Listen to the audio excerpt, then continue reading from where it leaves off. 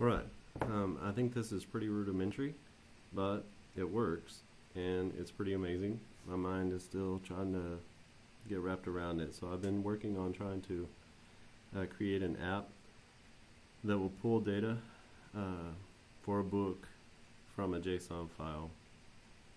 And I've been using Mavo now for, um, I don't know, a week or two.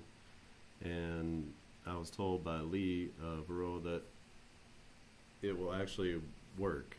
if we input the data, it will go to a JSON file on the back end, and then I can actually pull that data back out to the website. And I've done this all with only HTML and CSS, no, only linking into the Mavo JavaScript. I haven't written any JavaScript of my own.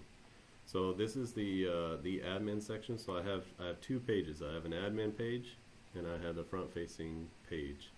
So this is the admin page where you can come and do your editing. This is the front side page. And I'll show you just that it updates. And you could also add a service worker to go and, and refresh the page and just look for new um, look for new content in the file every few seconds or whatever you wanted to do so that it updated in real time. Uh, but this just updates on refresh.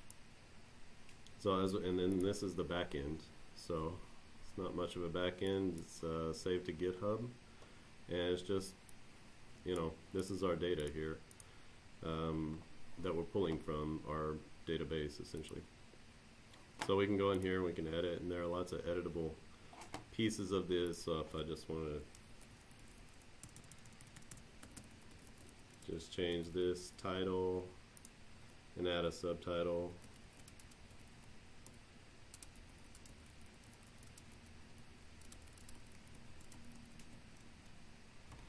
and then just add this guy here let's say Joe Blow. And then we come up and we can uh, instead of the introduction we want to add a preface. So we're finished editing. And we can save our changes. You can see now that um, our backend editor only um, gets going whenever we click the edit button and then things become editable. This is Mavo.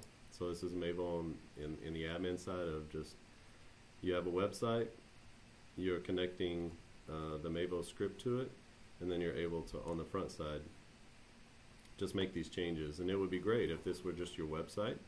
Uh, then those changes would still be reflected because they're pulling, they would be pulling from here. But we can go here and we can actually uh, see those changes reflected because I'm also pulling those changes that we made here into this new page which would be our front-facing uh, website. And so now we have those changes made on the back end. Uh, you could go in and you can change the, you could change this um,